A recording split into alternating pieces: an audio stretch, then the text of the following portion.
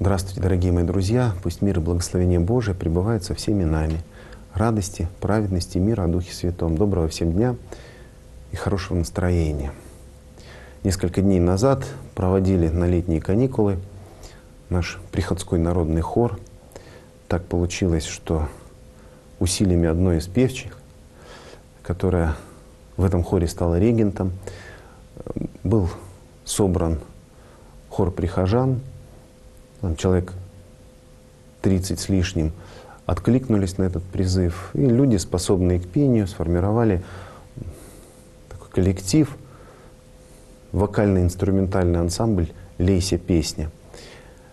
И потихонечку в течение года, раз в недельку встречались и народные песнопения, и богослужебные, а, духовные песнопения учили, ну, потому что как в свое время сказал э, наш друг э, из Псово-Печорского монастыря, монах Харлампи, приехал, и, ну, пообщавшись с мужчиной, он говорит, а теперь давайте мы с вами немножко попоем. Он сам увлекается знаменным пением, поет на клиросе, и так в течение часа э, с мужчинами разучил несколько песнопений знаменного распева.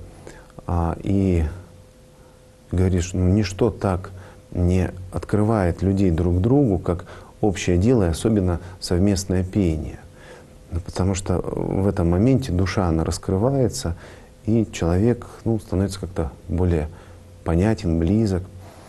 И вот образовался такой народный хор, который в том числе и несколько раз э, ну, частично участвовал на литургии.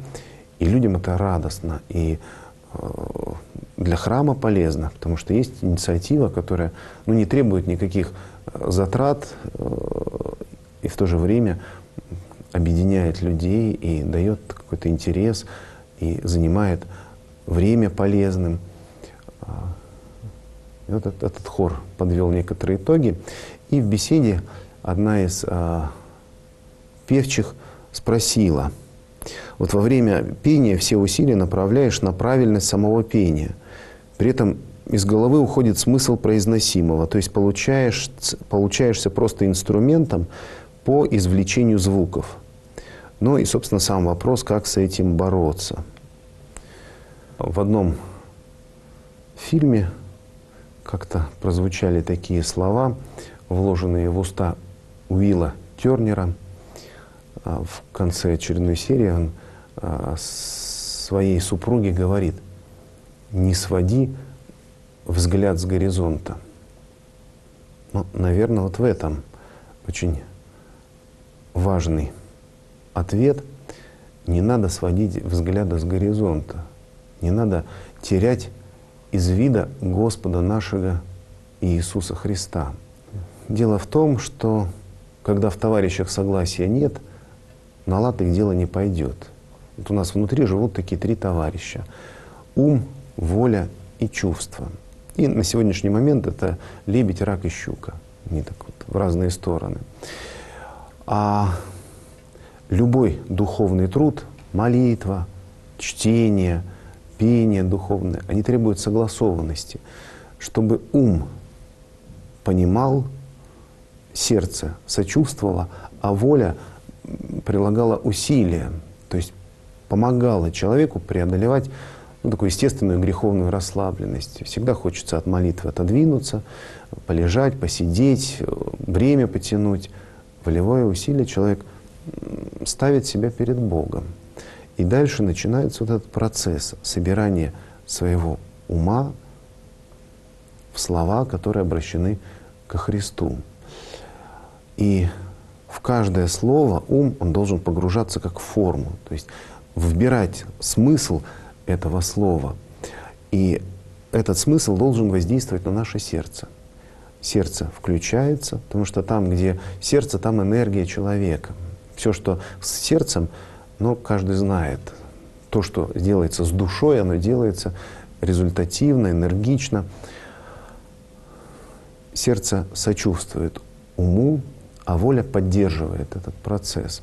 И вот такой трехсоставный труд, он помогает человеку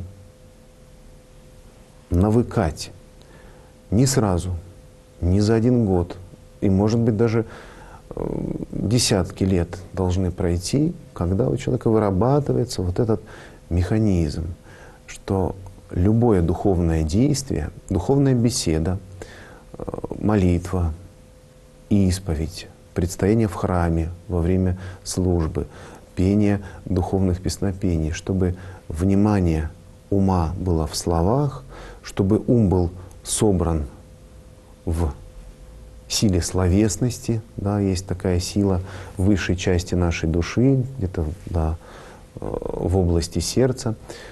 Внимание сфокусировано в области сердечной. Сердце, оно откликается на смысл произносимого и э, усиливает внимание. Внимание рождает умиление сердечное, умиление рождает еще большее внимание к смыслу слов. И постепенно вот этот процесс, который запускается с начального этапа, со словесной молитвы, с чтения, пения в храме, дома, он э, развивается до более высоких степеней молитвы. Конечно, об этом обязательно нужно читать, интересоваться. И если человек желает научиться молитве, Бог обязательно возьмет его крепко за руку и поведет по этому самому удивительному и прекрасному пути. Но начинается все с внимания. Помогай нам всем Господь. Господи,